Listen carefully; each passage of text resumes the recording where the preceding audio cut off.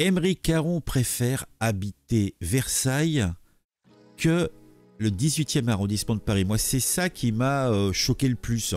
Par contre, la presse met surtout le doigt sur le fait que Émeric Caron a forcé l'entrée de l'école maternelle de sa fille pour qu'elle ne prenne pas un petit peu l'eau. Parce que monsieur a tous les droits, et en tout cas, il en a d'autres que le reste de la population. Mais moi, c'est vrai que c'est peut-être mon côté un petit peu gouailleur, joyeur, euh, chercheur de, petites saloperies. Je ne sais pas, c'est possible. C'est possible. Hein. Euh, bah, c'est surtout le fait qu'il ne soit pas prêt de ses administrés et qu'il préfère la vie bourgeoise de Versailles plutôt que celle plus populaire du 10e arrondissement qui m'a un petit peu... Euh, ah, bah, je dis, il y a, il carabistouille quand même. Hein. en tout cas, il le dit, il monte sur ses argots, à comme le coq qu'il est. On veut me nuire personnellement. Ah, pauvre chéri. En tout cas, Émeric Caron, le député de gauche, a récemment été source d'une situation croustillante, hein, on peut le dire, et qui a enflammé, bah, vous le voyez, la presse ainsi que les réseaux sociaux. Apparemment, le bonhomme était en retard. Il devait avoir sans doute bah, eu du mal à se réveiller. Il s'était couché fort tard. Et bah, il fallait amener sa petite, euh, bah, allez, à la maternelle. Et bah, donc il amène sa fille à l'école comme des millions de parents. Alors là, il aurait contourné les règles en forçant le portail de l'établissement pour la conduire en classe. Ouais, comme ça. Euh, en général, vous faites ça, euh, votre gamin est expulsé et, vous vous retrouvez bon, en, tout quelques heures. quoi. Hein puisque c'est, on rigole pas avec ce genre de plaisanterie. Hein. En tout cas, il force le portage de l'établissement, il conduit sa gamine en classe. Bon, cela va sans dire, malgré l'opposition ferme de la directrice de l'école, si on laisse aller tout le monde à faire ce qu'il veut, bah, c'est, c'est, la fin des haricots, les carottes seront cuites. Cette altercation conduit même la directrice à faire appel à la police qui intervient. Mais bon, elle intervient un petit peu tard puisque Émeric Caron avait déjà quitté les lieux. À ce moment-là, bah oui, la police, il faut pas euh, qu'on en ait besoin dans une situation d'urgence, même quand euh, urgente, même quand euh, c'est devant une école. Donc c'est plutôt embêtant, embêtant, embêtant.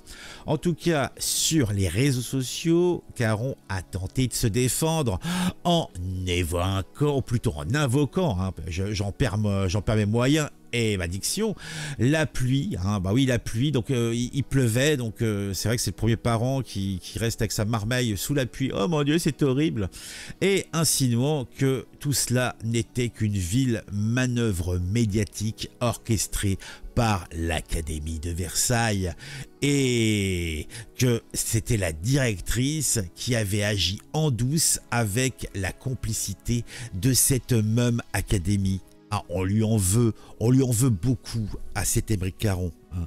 Tout le monde en veut à Émeric Caron. Et puis, il joue sur l'actualité puisqu'effectivement les rectorats de Versailles a mauvaise presse puisque c'est comme lui qui a envoyé le fameux courrier le fameux courrier aux parents du petit Nicolas qui s'est donné la mort il y a quelques semaines. Ah Bon, il va sans, sans dire hein, euh, que ça peut arriver à tout le monde d'arriver en retard pour déposer son gamin à l'école. Mais en général, cela implique de faire preuve déjà de modestie, de s'excuser et de confier l'enfant à l'adulte de service. Et ce qui est le plus choqué, ce n'est pas tant l'altercation avec la directrice, mais plutôt le fait pour moi que Caron ait choisi de scolariser sa fille dans une école de Versailles. Et plus précisément dans le quartier Notre-Dame, l'un des quartiers les plus huppés de la ville.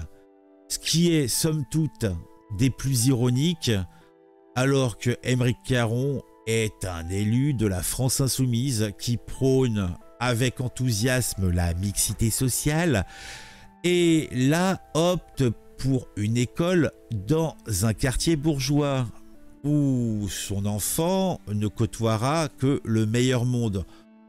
Il est vrai, il est vrai qu'il n'est pas le seul à procéder ainsi et d'avoir fait ce choix-là, car on en a une preuve simple, aux dernières élections présidentielles, les partis de gauche ont obtenu un soutien considérable à Versailles. En cumulé, il dépassait les 25%.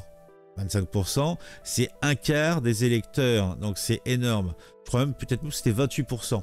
Tout en sachant qu'il dépassait largement Éric Zemmour, qui dans cette ville, qui semble être plutôt orienté à droite, Zemmour là-bas avait obtenu 18% des soupières, ce qui était déjà largement supérieur à son résultat, sa moyenne nationale qui était plutôt de 7%. Vous voyez Donc 18, euh, 7, voilà.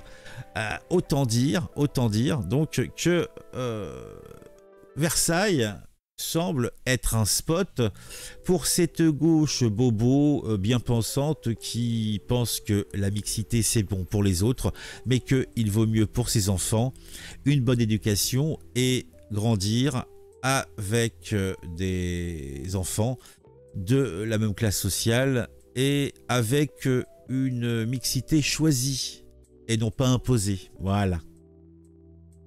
Bon, cela montre au final qu'il est possible d'être de gauche tout en préférant une éducation bourgeoise pour ses propres enfants. En tout cas, pendant ce temps-là, la sociologie de Versailles continue à évoluer, attirant de plus en plus des Parisiens en quête d'un cadre de vie agréable, bien sûr, malgré les politiques qu'ils ont portées au pouvoir.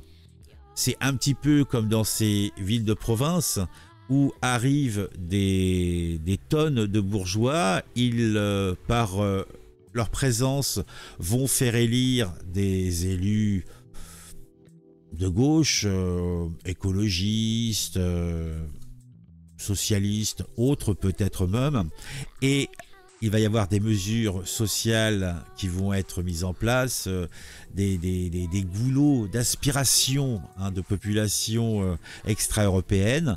Il va y avoir une baisse, donc déjà dans un premier temps, une montée de l'immobilier, puisque ces gens ont un pouvoir d'achat plus important que les locaux. Après, ce petit monde euh, va donc faire élire et mettre en place des décisions. Et après, ces gens vont se dire, mon Dieu, c'est ici, mais qu'est-ce qui se passe? Je ne comprends pas. Euh, il y, a plus de sécurité. On euh, la mixité, la mixité, en a beaucoup trop.